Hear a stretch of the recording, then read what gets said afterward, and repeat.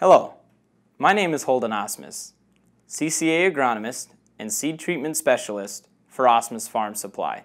Before I jump into the importance of seed treatment, I want to briefly explain the disease triangle. In order for a pest or a pathogen to survive, there needs to be three components. There needs to be the host plant, your pathogen, and compatible environment.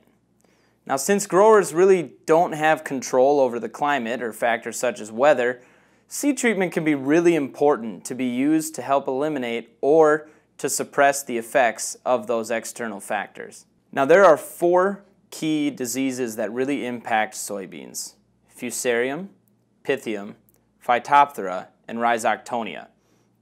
Each of these four diseases kind of come into effect at different temperatures of the soil and different conditions. To break down these temperature ranges, I'm going to be showing you a graphic provided by DuPont Pioneer. The four main diseases that impact soybean yield all thrive in different environmental conditions. In cooler soil temperatures, lower than 73 degrees Fahrenheit, fusarium and pythium are normally present in cold, moist soils. As soil temperatures start to warm up but remain saturated is when you start to see Phytophthora's effects. In the drier, unsaturated soils, you start to see rhizoctonia. The point I'm trying to make is that there's always going to be a disease present in your fields. That's why it's crucial to have a fungicide seed treatment applied to your soybeans to help control or suppress the effects of these diseases. The importance of treating soybean seed with insecticide treatments is to protect the seed from early season pests. Multiple pests can be controlled with seed treatments. The most common early season pests are the bean leaf beetle, the true white grub, and the seed corn maggot. While in the larva stage, these pests feed on roots or germinating seeds, causing damage to the embryo. This may lead to delayed development or possibly the plant's death. The use of an insecticide seed treatment will reduce the populations of these pests to help the seeds emerge more evenly. The insecticide seed treatment products available on the market for soybeans even have some systemic control of early season soybean aphids.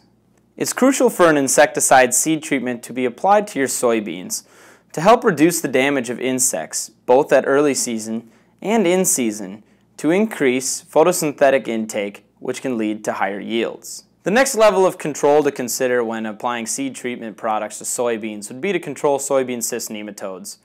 Uh, soybean cyst nematodes right now are the lead cause of yield loss, estimating about 120 million bushels of soybeans annually are lost due to damage to the soybean cyst nematode. They're a very kind of fast growing pest, anywhere from 24 to 30 days is where the full life cycle of a nematode can take place. So it's really important to control them because a population can get out of hand very quickly. The next concern uh, with the soybean cyst nematodes is that they're starting to show a resistance to the PI 88788 trait, uh, which is the common variety added into soybean genetics to help control uh, the soybean cyst nematode on a natural level. Uh, in the state of Iowa, there's actually showing about 56% of the population of soybean cyst nematodes are resistant to the PI 88788 trait. So a big concern with the soybean cyst nematodes as well uh, is they are proven to kind of be the catalyst between the soil-borne Fusarium virguliforme and the eventual infection of your soybeans with sudden death syndrome, or SDS, which is the next level of control I'd like to start to talk about. SDS is in second place behind the soybean cyst nematodes for the leading damage to your soybean yields. SDS has both above and below ground features that are easy to distinguish. Uh, the above ground features, you can see yellow to brown lesions in between the veins of your leaves, uh, which leads to eventual dying of the soybean plant. Uh, below ground, you start to see uh, the main causes of root rotting disease. So you start to see brown to woody tissues, some lesions on your roots, and that's kind of the real cause of SDS. Now there are genetic tolerances that are available through your trait packages on your soybeans, but sometimes that isn't always the best level of protection you can have. Now, the SDS seed treatment products aren't necessarily silver bullets. Uh, there isn't anything out there right now that can completely eradicate SDS from your fields, but what it could do, let's say for example, you have on a scale of 1 to 10, 1 being the worst, 10 being the best, you have a product that's like a 5 in SDS tolerance. Uh, if you treat it with an SDS product, it might get it to you know, a 7 or a 6. What it'll do is it'll help control the SDS to increase the tolerance on your soybeans, leading to better production and higher yields. Through our trials at Asmus Farm Supply, we've seen consistent positive results when pairing a Bradyrhizobia inoculant with your active ingredient seed treatment package. There are multiple inoculants available on the market, anywhere including from Pioneer's PPST 120 Plus to Optimize, Excalibur, Tag Team, Signum 1 Bioinducer, and many others. With the increased concern of neonicotinoid insecticides and its impact on bee cultures, it's crucial that we practice proper stewardship methods to preserve our active ingredients. The greatest way that we can preserve our seed treatments is to reduce the effects of dust off. So anytime treated seed is either handled or moved, there's a potential for tiny portions of the treated seed to be eroded off in the form of dust. Now when you're transferring your seed from a tender to the planter or through the vacuum systems on most modern planters, there's a potential for off-target movement.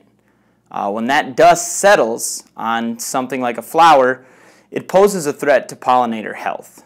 Um, so why is that important?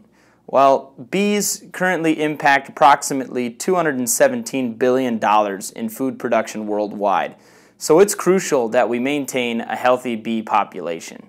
Growers ask commonly how early they can have soybean seed treated. It really depends on the type of treatment that you're going to be putting on your seed. With some of the inoculants, their lifespan is limited to 75 days all the way up to 120 days. Although not required, it's still recommended that a fungicide seed treatment is applied to seeds planted later in the season. As I discussed earlier in this video, yield robbing diseases thrive in different soil conditions. Although conditions may seem favorable, please remember that Phytophthora and Rhizoctonia could damage untreated seed. Another common question that I'm asked during the season is if there are any products available to treat over and upstream treated corn seed. There are multiple products available that help with nutrient uptake, such as Ascend and Commence. The thing that I would caution growers is that when applied over an upstream treated corn seed, some mechanical damages to the germ could take place, leading in lower germination rates. With an upstream treated corn seed, anything that's treated on top of that seed could void replant policies. If you have any questions on the topics that I've covered today, please don't hesitate to contact me. Thank you again for taking time out of your busy schedules to watch this video.